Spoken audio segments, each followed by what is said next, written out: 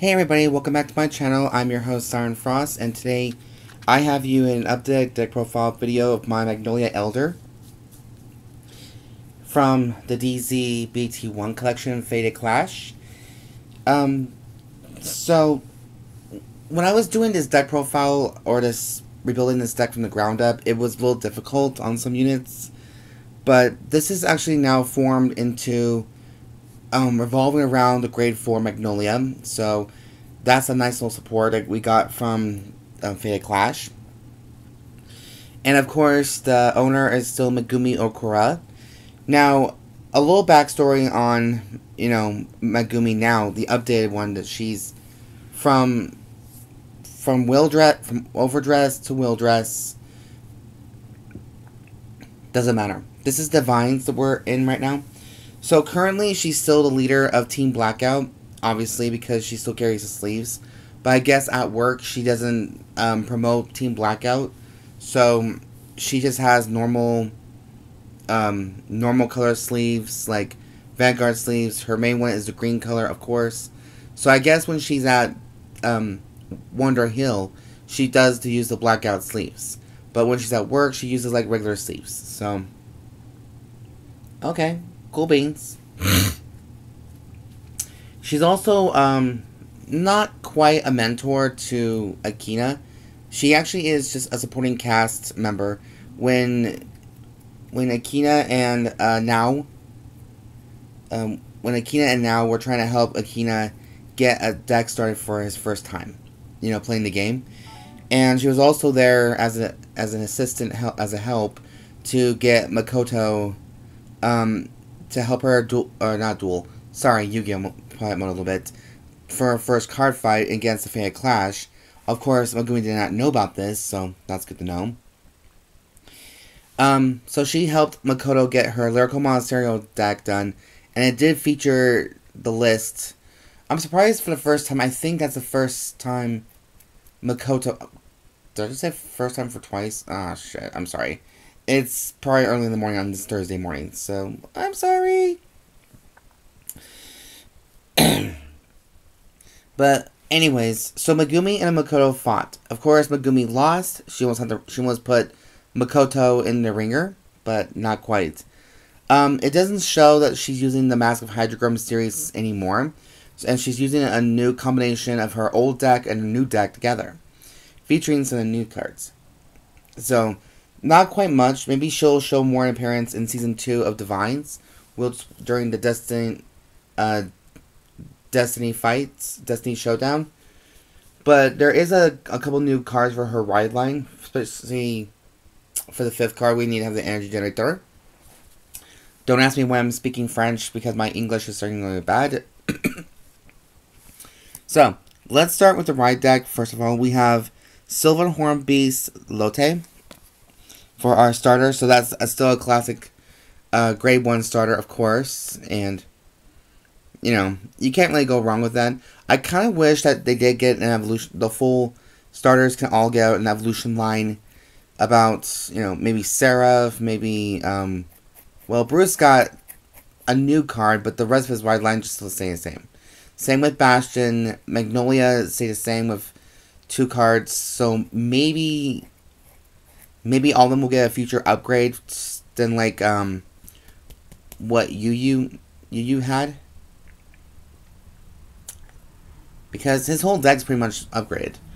But we'll see what happens. Anyways.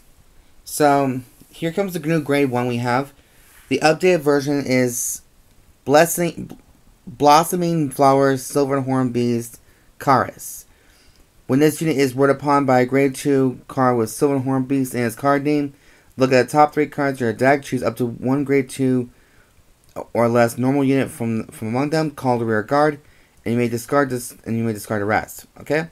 If you did not discard any cards, put the cards not chosen on the bottom of the deck in any order. So I believe that you don't really need those those cards too much, but I think a lot of people still like to have some from drop. Maybe that's the case as well. So this is going to be a whole different style of the deck itself. So, a little bit. The next one we have grade 2 is Mercy Sylvan Horned Beast Lattice. When this unit is rolled upon by a grade 3 card with Magnolia in its card name, Soul Blast 1, choose a grade 3 or greater card from your drop or a normal order from your drop and put it into hand. During your turn, if you have a grade 3 card, grade 3 or greater Vanguard with Magnolia's card name, this unit gets 5,000 power. so, I don't think that's quite a bad card. I think, of course, maybe I didn't think of this quite, quite through, that there is a Magnolia order card for her. So maybe she was using that. But it's okay. You know, like, maybe we'll fix that, you know, eventually over time. But for right now, this is the deck I'm promoting right now. Or not promoting, um, showing right now. and of course, we have Sylvan Horned Beast King Magnolia for our last grade 3 card. See, this is a little bit weird. Because the grade 1 and 2 had an upgrade, while the grade 0 and 3 did not. So, it's a sad, sad thing, but it's whatever.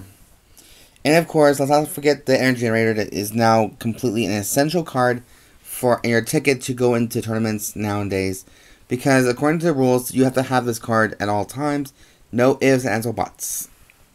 So, to me, that's kind of shitty, but, you know, it is what it is. It's kind of fun, but still, kind of stupid. And of course, we're using the Team Blackout sleeves for this one, because why not? Excuse me, guys. okay.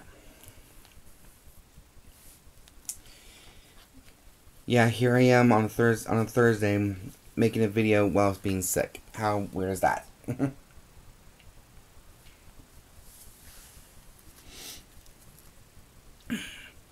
so, anyways, um, for grade zero for the main deck, grade zeros we have the same usual trigger lineup, um, eight crits, three fronts, one over trigger, and four heals. You know all that good stuff.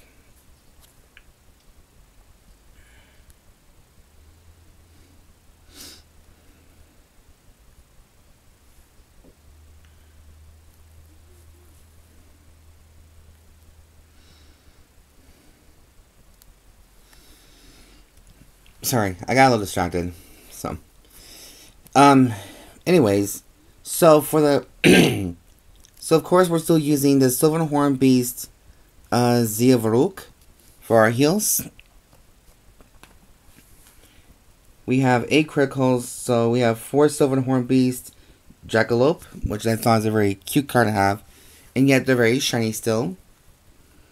Four copies of Aspiring Maiden Alana, just in case for that soul ability now because most of these cards I think still uses the soul ability.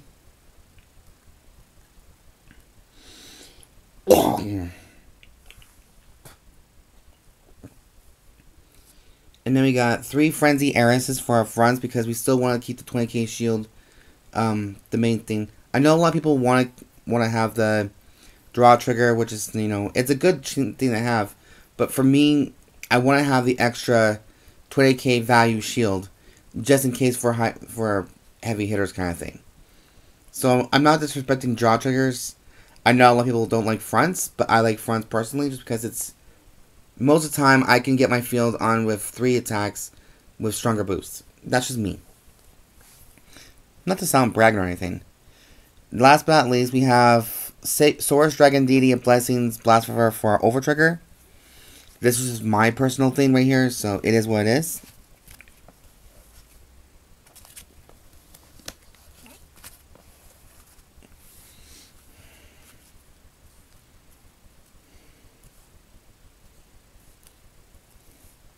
And of course, we are using the Team Blackout, the black black sleeves. I'm in the process of actually trying to um, get I'm actually in the process of trying to um, get all the team sleeves for all the, the, the decks itself, but they're a little expensive, and I have to be a little careful with it. It's alright. So for grade 1s, you'd be quite surprised by this, but we're not using them any grade 1s in this deck. I'm only using 4 because only one of them is a support for Magnolia. And you guys can take it how it is. Maybe it seems like it's a little bit much, but this is how I like to, you know, do just do things. you know, it's my own personal take. So I'm playing four copies of Sylvan Horned Beast Seroll from the Set 7 collection, and we already know what this one does. And of course, for our complete guard, we have pl pl Planar Prevent Dragon, so we're still using the classic um, perfect guard that um, Megumi had in the first season. So I thought it'd be very quite fitting. So there's that.